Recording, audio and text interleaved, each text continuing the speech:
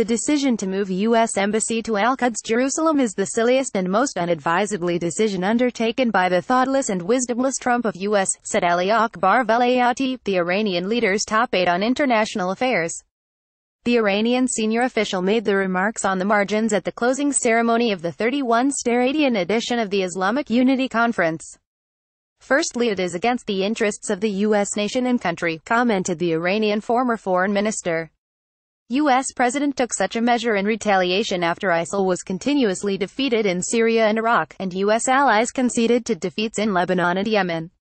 What matters the most is that the move is interests of the Islamic Ummah in the long run as it cements unity adds solidarity between Muslims unmasking the real face of U.S. policies and politicians, said Mr.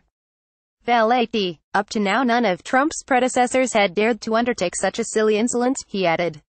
YNGIRN 82755863